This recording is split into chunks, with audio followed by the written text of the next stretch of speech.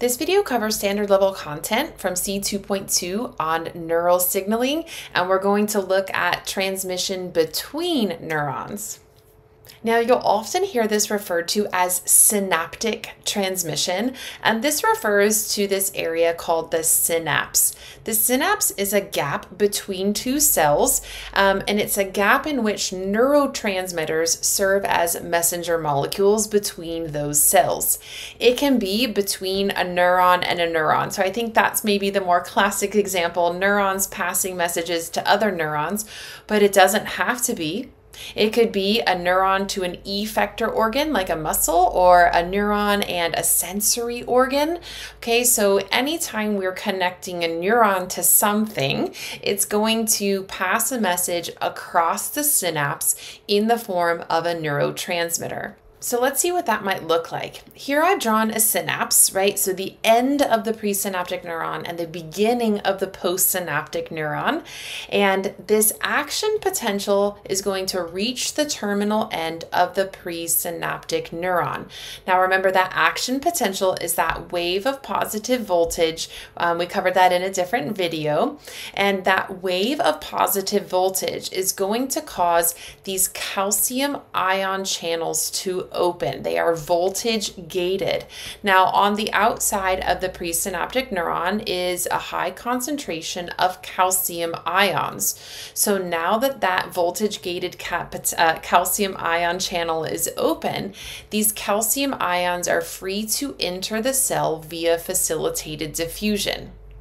Once that happens, it's going to force these vesicles full of neurotransmitters to fuse with the membrane. So I have neurotransmitters here in blue, okay? And again, this red arrow is that action potential, okay? But these neurotransmitters are going to be released into the synapse when these vesicles full of neurotransmitters fuse with the membrane. Okay, so at this point here, this action potential has forced calcium into the cell or allowed calcium into the cell and forced these neurotransmitters into the synapse. These neurotransmitters are going to bind with receptors on the postsynaptic uh, neuron, okay? And so when that binds, it's going to cause ion channels to open. So it depends on what exactly this postsynaptic cell is, if it's another neuron or if it's something else.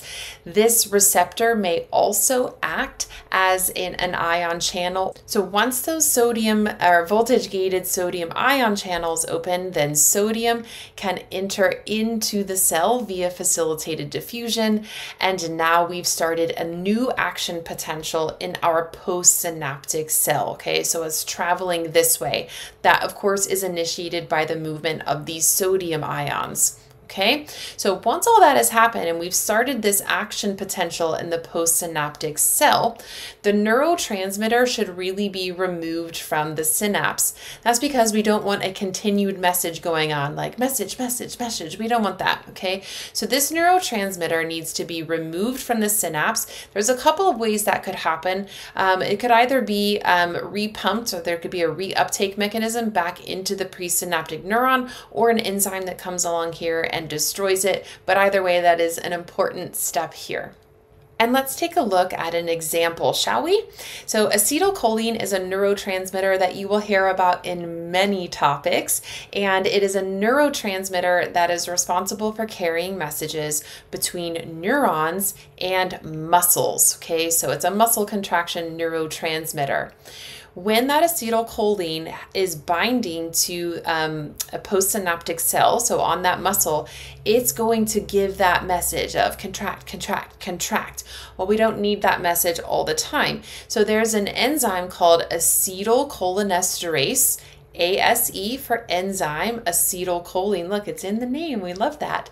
And it's going to come into this synapse and it's going to break down that acetylcholine. So this acetylcholinesterase enzyme will come along here and whap, whap, whap, whap, whap. Okay, break down all of this acetylcholine.